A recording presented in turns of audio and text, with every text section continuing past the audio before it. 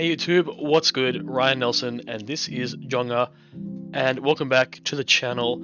Today we have another Locals and Decks series, but before I start today, I just want to give a little bit of a what and a why. Uh, you know, what am I doing here? Um, well, I just like to play Yu-Gi-Oh! Uh, not really. Uh, I've been playing, I guess, competitive Yu-Gi-Oh! for about 11 years now. I like to think I, I'm good. I have some event tops but in the recent years, say the last three, four years, I've just been more concerned with deck building and strategy. So I really care. I'm really passionate about those things, and I'm, you know, I like to share, like what I've been doing at my locals, and you know, just the ideas I have in my head. And you know, the why is just I like to, I guess, put this down in a recorded form so not only for you guys to watch and to learn, but also for myself to look back on and you know enjoy what I've done. Uh, you know, I don't have time to cover every deck, but you know, I generally try to keep up with to date with like most card releases and what's good. And who knows, if I like a deck, yeah, I'll run with it. And I especially like decks that, you know, act as engine pieces and can fit in a lot of different strategies. So, with that out of the way, I hope that gives some more context as what I'm doing here. But the first deck we have I actually played this two weeks ago.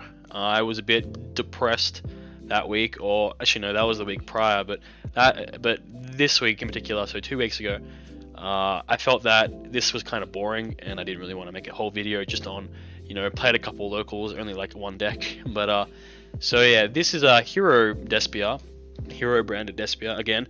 I paid this recently actually, and I actually commented in that video that uh, Hero Lives might come to three, and uh, yeah, the ban list happened, and it did. So that was really nice. Yeah, uh, I played this at two locals. I played this in nine rounds total, so wow, that's like a regional, I guess. But you know, over the space of two locals, uh, yeah. I went 4-1 at the first locals, and then I went 4-0 at the next. So an 8-1 game score overall, pretty damn good. And I'll just say at the start, this deck is really, really, really fun. I highly recommend anyone playing Branded Despia to give this deck a try. Also, hero players that might not be too into the meta, this is a good way to, I guess, expose yourself to other meta strategies and to perhaps mix up your stale, boring hero deck. Um, in essence, it's just really strong. Like, uh, the synergy between the hero and the Despia cards, and the branded cards, is uh, really good because, you know, Branded Fusion sends Shadow Mist, which, you know, turns on your hero engine, and Hero Lives just a really, really, really broken card in that you can either get Mask Change or you get Stratos to search Vion, which gets Poly. Similar like how Edge Imp Chain would do it. You know, it's a similar engine, but instead you're working with bodies. And if you get the right matchup for your Dark Claw, well, it can just be GG. Like I played versus, uh, you know, invoked Eldlich, and damn, it was just uh, brutal, brutal. His whole, both of his engines just crushed by Dark Claw, crushed. And of course, you get to play uh, Destroy Phoenix Enforcer as well, like, um, which is really refreshing. You can often hard make this as well in the very basic, simple one-cut combo, but overall, 50 card recipe, you kind of need the deck size to fit in all the engine pieces. Uh, only a couple of Go Second cards, so the Super Poly and the Droplet. They're just the most generic all-round ones. In theory, you could cut off the Allure of Darkness and maybe one Mask Change for more Go Second cards, but I definitely think you don't fit hand traps very well in this deck. But I think the Allure also has a purpose in just because you get so many free heroes off your card searches, and of course, Bandaging Tragedy is always really nice. And then I think uh, the Dramaturge is pretty standard now. Um, yeah, uh, only one Branded Red and one Banishment, but I guess they both serve similar functions. I guess in the extra deck, um, not as standard as some. I probably should be playing Double Masquerade, but I like to have the Quaeritis access for certain game states. And you get to play Alba Lenatus in this deck, mainly because you get the beneficial uh, Search Fusion Destiny interaction sometimes, but you can also just wreck your Dragon Link opponents, which I unfortunately did to my good friend uh, at one of the tournaments. Uh, I kind of had nothing going on for me, and I'm like, damn, if I just draw Albaz right now, I win the game. And I drew Albaz. I guess today, that, that day was my day. Um, playing Mud Dragon of the Swamp because I believe you it unbricks some hands of like hero cards. Um, but it's also just good for Super Poly. Um, yeah, dangerous. Surprisingly came up in a few lines. If you don't know what it does, you just uh, you go Fusion D and you can send uh, Tragedy and a D hero to make Destiny, which will get you your Aluber, which gets you a branded card. You can't branded Fusion of that on that turn, of course, because you're locked into Dark Hero, but the setup it gives you is really, really, really important. If you just break on Fusion D and you have other cards to work with, Despia cards, like getting branded in red is pretty good, and you usually can set up the uh, DP with the Theater of the Branded in that particular opening, so that's also really nice. Um, side deck, uh, nothing much to say, pretty standard here, apart from maybe there can only be one, because you know you're usually ending on Warrior and Worm and Fairy, so uh, again, when you play nine rounds of Yu-Gi-Oh, you kind of see everything, and uh, every card in this deck was good. I felt that none of the ratios could be changed. So again, highly recommend you give this deck a shot if you're into heroes and you're into Branded Despia. Okay, so that was two weeks ago. So now just into the previous week. Um, man, uh, what can I say about uh, Umi Fish? Uh, I'm gathering the uh, the knowledge and the cards to play Shark. I think you can play uh, Shark in a lot of different ways. Like some with Floodgate, some with uh, more engine, more explosive power, and more consistency. But I, uh, I don't know why I play this. Like, it's not my style of deck. It's a very back row heavy anti-meta style of deck. Using the new Umi cards, uh, the Kairyushin Lord, you know, as a Gozen match, the jellyfish is an Omni negate, but the entire deck requires you to have Umi on the field, which is a legendary ocean in this case. But from my dueling stage, when I used to play a bit of duel links, I really enjoyed the Citadel Whale Sea Stealth attack deck, so I guess I played this deck to pay homage to that deck, because man, that was a really cool deck and a fan favorite of mine. Uh, I have really no explanation for the 44 cards other than I just wanted to fit all the cards I wanted to fit into a deck. Like in theory, looking at this on paper, you can easily just cut this random summon limit. But I just felt that you needed to have floodgates to be really explosive. You also didn't just want to draw too many field spell related cards. Um, I guess the most appealing part of this deck other than you know being a back row trap deck is you get, to play Extrav and Duality. So this deck feels really consistent, but naturally there are some problems with you know playing a beat down strategy. Like usually if you don't see these dudes or see this card, you obviously lose. But that being said, it was a lot of fun, and somehow I won three rounds and only lost one round playing this deck. Don't know how, but I did. Um, and surprisingly had some highly interactive games, believe it or not. Um, I guess your inherent weakness in your main deck is you simply cannot go second. You cannot break boards. It's the only way possible you can break a board is if you summon Legendary Ocean, uh, if you activate Legendary Ocean, and then you just summon your Kairyushin Lord, and then if the summon is successful because it's a continuous effect, the Gozen match effect is immediately applied, so your opponent's big board of monsters can get wiped. Uh, that nearly came up for me going second one time, but unfortunately I did not draw a Legendary Ocean, which was very sad. Um, so yeah, if you don't know what these cards do, uh, Warrior of Atlantis searches Ocean. Ice Shade Tremora, you can pitch it from your hand to special a water, but I kept drawing this alongside Duality, so it kind of sucked. Uh, Fish Sonar searches the Umi cards with Umi in the name. Doom Kraken is a quick effect. Compulse, uh, compulses your monster, bounces there, uh, pops theirs, and then bounce back to your hand to negate the attack. Uh, Foolish Burial Goods sends Ice Barrier, and then you banish Ice Barrier to dump a level 5, and then you, you can take a water back to your hand. So it's like a way to search these level 5s. But sometimes you can also Foolish Goods Legendary Ocean if you draw a Sea Stealth attack, because Sea Stealth attack can activate it straight away when you activate Sea Stealth attack. But other than that, uh, you got Ky- uh, Fury of Kairyushin, Torrential Tribute, sick cards. Any deck playing like Torrential Tribute and Strike just feels really good when you draw them in conjunction.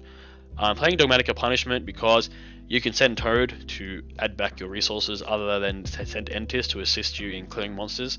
Uh, this extra deck was very rushed, very bad. Uh, definitely need to play uh, Silent Honor Arknight or a Castel because my one, my, one of my opponents summoned uh, Sword Soul Supreme uh, Cheng Ying and I had zero clean waste out in my deck. I had to make the most obscure Zeus I think I've ever done and I barely won that game. But so yeah, definitely adjust the extra deck if you were to play this to have a more well-rounded approach.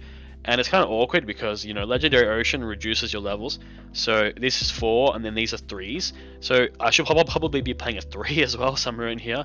But I guess these are just for those really obscure situations where, where they clear Legendary Ocean, and then you know these are level four again, and you can actually have summon some very powerful cards. Obviously, Shark Toad, Abyss Dweller, and Stealth Kraken are ridiculous cards.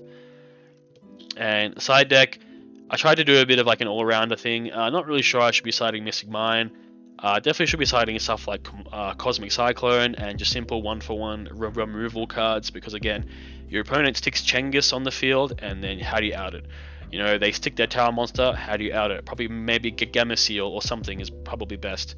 But, you know, when you have the ability to side in like the more the more floodgates um, to round out the bad traps into the more good traps, you just auto win some games. Like you just can't lose if you go first. But again, yeah, Mystic Mine, set rotation. This deck's like really hard to kill with Mystic Mine. Uh, it's probably highly unlikely you ever want to turn off your Mystic Mine, so you're trying to deck out, but then usually you thin your deck and you don't really deck out. So going back, probably wouldn't play this again. But in general, probably wouldn't play Umi ever again either, because it's it's a flawed strategy. It's a back row deck that needs to have a field spell on the field. It's just a flawed strategy. You cannot, you can't do it. It's just not possible.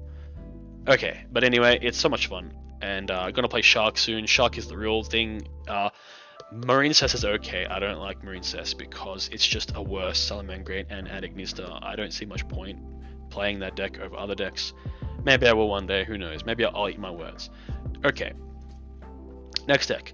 Um, what do I say about this? Uh, in theory, it's good. Like, in theory, it's clean. Um, but in practice, you never draw Lily or Disc, and you draw Duke and Regulus, and your Branded Fusion never resolves to, I guess, uh, dump your Yule for your Regulus, and yeah, you just brick. Um, but in theory, if I were to cut the Therion cards out of this deck, then it's a you know standard Predaplant and Branded Despia, but I just wanted to give it a shot. Um, again, I went at this locals. I went one win, three losses, and two of the rounds were just strictly me misplaying and not being good enough with my deck. I feel like I could have won all the rounds I used this, even when I was drawing bad and bricking. But I just played this deck so badly, and it's really sad. I really want to play it again, but I just uh, I need a Preda practice so I can play that one. But yeah, the Therion definitely not the way. But again, in theory, if you have opening and fusion resolve, and you put the plant in your grave for the lily, that's nuts. And yeah, Stay Sailor Ro- uh, Marine, that card is bonkers. It is really, really, really good. Like the Predator plants really need no explanation at this point. It's quite a good standard, very, you know, you can play minimal or you can play like full maximum engine, and they're really good, really good cards. Like this engine, I actually cut down from previous time when I played this, but even then, you don't need to play like all these Predator Plant cards. It's just mainly for Romarine and Buffalo. Um, they just give you the extra material, and the Blips gives you the floating. But yeah, this deck was very sad. I just bricked, bro. Therion cards and bricking. I didn't learn my lesson. The next locals I played, I played Therion cards again, and I bricked again. But that's an, uh, that's for the next deck.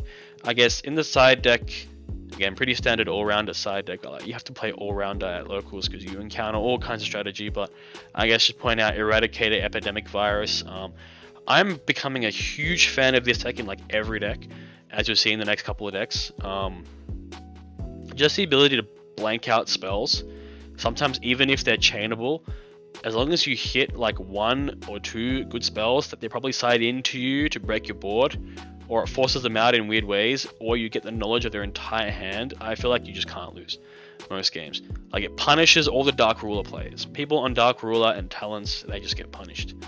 Like it's and like all decks require power spells. Most decks do. But this deck in particular gets so many free dark monsters. I guess in the extra deck here I don't have uh, Plant Trifavertum. I really should be using that, but I let a friend borrow it and didn't get it back, so I suffered. But I guess in theory, Proskenion is nuts because you can do big fusions of like a Despia, a Predator Plant, and a Romarine. But yeah, uh, again, a really good deck. it's like you've got how many? You got one, two, three, four, five, six, seven lilies, but no, you play a four-round tournament and you don't draw lily or disc or terraforming or set rotation. But you but you draw Mystic Mine a lot, and man, I suck playing around. Like playing with Mystic Mine, I suck. I really need to reevaluate why I'm playing Mystic Mine because I really think I suck with it. Every time I draw it and I use it, it's like good until it's not good until I fuck it up in some way, until I misplay it horribly. So maybe moving forward, I gotta cut that out of my deck because it's it's it's painful. It's painful. All right, moving on to the last couple of decks. Um, this is GUI. Uh, there's a called Past, uh, but maybe another A for Pasta, but I don't know. But yeah, Punk Adventure, Synchron, Therion. So, you know, play Therion again, didn't learn my lesson from the previous day. But for some reason, this locals had like 30, 40 people, and we played six rounds. So I got a mini regional out of nowhere. Very surprising, very cool. And I went 5 1. I nearly went 6 0 somehow, even though most hands I drew pretty like averagely, and I, you know, bricked on these Therion cards again. But there were some hands where I just drew the absolute nuts, and I feel bad for a lot of my friends who I beat playing this. They know who they are, but again, I just drew so so so good. And like again, don't don't ask me about the all-rounder rate like two of ratio. That's an inside joke in you know my community. But again, you draw these when you need them, and you just win the game. And if you draw them going first, well, you set this, you use this, or you send this off souls, and it's never bad. it's never bad. Um, so yeah, what are we looking at here? Like, what is the main objective? Uh, it's a bit different to, I guess, Punk Punk Adventure because I'm playing uh, Necrosynchron, Spore, Fengli with the, the Lily. So if you don't know what Fengli, the Solder Prom does, I just call him Pineapple, is uh, when you mill it off a monster effect at someone's back. It's mainly just there to be another target for Necrosynchron if you already use Spore. But, you know, it, it is pretty good. Um, like, the Necrosynchron lines, mainly with Magician Souls. You off a Martial, uh, Martial Metal Marcher, which triggers Necrosynchron and summons you back another tuner. I actually won a couple of games simply because of that interaction, just giving me so many monsters. Like I had to force an access code line, and he simply couldn't stop. Like you know, I summoned Selene first in one of the lines, and then he had to stop Selene, and then it's just like okay, Hulk into the next line to make the access code and win. So it was it was it was pretty pretty pretty sick. Other than that, you synchro and necro synchron with a level 8 to make Baron. Very easy to do so with Chaos Ruler and Therion cards. Very easy to do. And uh, yeah, you just get so many free monsters off nothing. And you know, I think the biggest strength of the game right now is just Selene access code. Uh, maybe access code should be banned. Just the sheer frequency of you can just end your opponent off like a single card, especially in decks like these, because the way this deck climbs into that card is just uh, very unfair. Very, very, very unfair. Um, you'll see I am playing the baby dragons.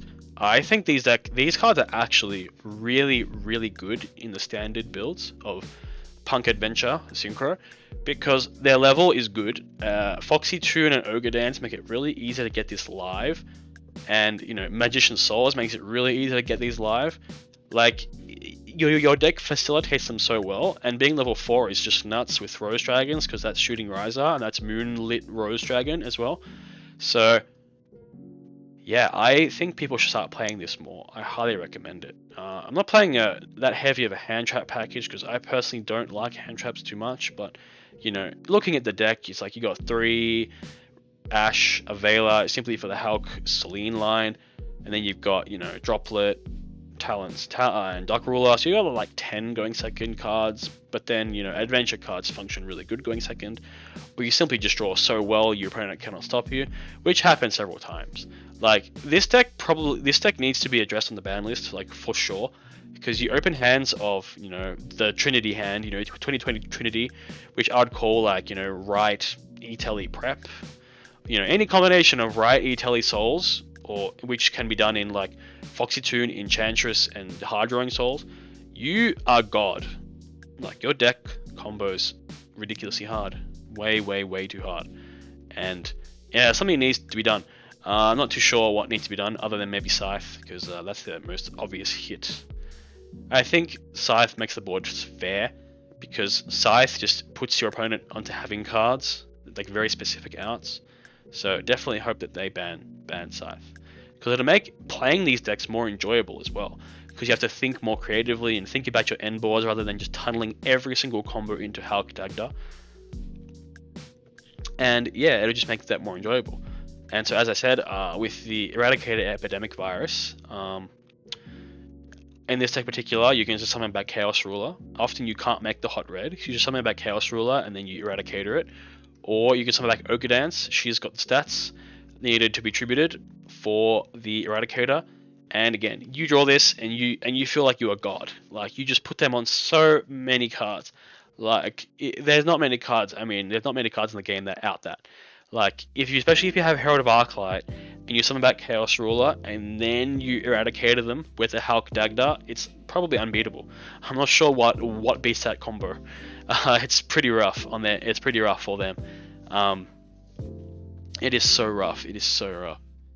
Um, so yeah, Therion card's bad. So then moving on to the next locals, I played it again, just with no Therion cards. So this deck, 5-1, nearly won that locals, but this deck 4-0 won that locals because my deck was just drawing so good every single round. No dead Therion cards. But then it also takes away from, you know, why you're playing Spore. I play Spore with one of the target, which is this. But it still just happens. Like you either draw one, you mill it, or you summon one of this, and you just always have that interaction. And it's just mainly useful for the climbing, for like you know anima into Hulk into you know uh, it's just it's just useful. It's just it's just nice. It just works. Um, it's like having more copies of Red Rose in your deck as well. Kind of like you draw this engine, you use that engine, and then you summon that engine of Hulk, and vice versa. Um, so yeah, highly recommend. You know, Punk Adventure Synchro. It's really, really, really broken. No one needs to be told that, but I'll tell you anyway because it's a YouTube video. I got, I got to tell you. Um, but I had so much fun playing these decks. Like on this day, I had to play 10 rounds of Yu-Gi-Oh for some reason. I don't know why, but I don't know, my energy, I, I could take it. I could do all the 10 rounds and it was refreshing. It was like a YCS. it was like a YCS I, I, I don't have here in Australia, which is very sad. I wish they give us a YCS. Very, very, very, very, very sad. Anyway, thanks for watching. Probably a super long video, but hope you listened to the end. 1.5 speed, really useful to getting through these long, uh, talky style YouTube videos, and I hope to have more amazing decks uh, ready in the future. There's some new locals in my area in the city where I live uh, came opened up, so I, am really excited to play there. And I got many more ideas, many more decks I got to work on. And then I might do a video about Splight soon. And Tearlament, Tiara Lament is just sick. Like that deck feels good. Like Splight feels good, but Tearlament just feels good in in its own way just because you're milling and you're fusing. I like those kinds of engines. I'm a big fan of Shaddoll, so big fan of Lament. Anyway guys, thank you for watching. Ryan from Jongaa, peace out. Thank you.